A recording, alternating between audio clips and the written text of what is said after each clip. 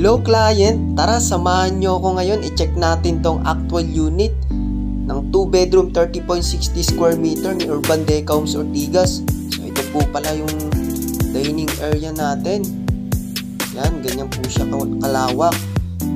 Equipped na rin po yan for water sprinkler and smoke detector for emergency purposes.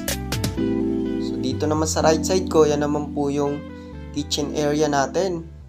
Naka-granite na po yung countertop niyan at may kasama na pong base modular cabinet. So dito naman po sa sa side na to yung comfort room po natin. May kasama na po yung toilet and bath, lavatory. Naka-ceramic tiles na rin po yan. Ganyan po siya kaganda. And tara, check naman natin yung bedroom 1. So ito po yung itsura ng bedroom 1. Yan, ganyan po siya kalawak, kaaliwalas. Nakaabang na rin po yung provision ng aircon at may kasama na po yung pre-window blind.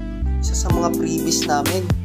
So, alam nyo ba, for 10,000 cash out only lang, ay pwede ka nang makalipat dito after ng process and loan takeout kay pag-ibig sa loob lamang ng 3 to 6 months.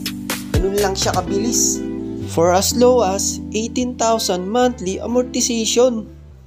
So ito naman yung bedroom 2, same lang siya ng bedroom 1. Nakaabang na rin po yung provision at may kasama ng pre-window blind. Dito naman sa right side ko, yung living area, pwede nyo po ilagay yung sopa dyan. At dito naman po sa gilid ng pinto, yung lagayan ng TV. At dito lang nagtatapos. Bye!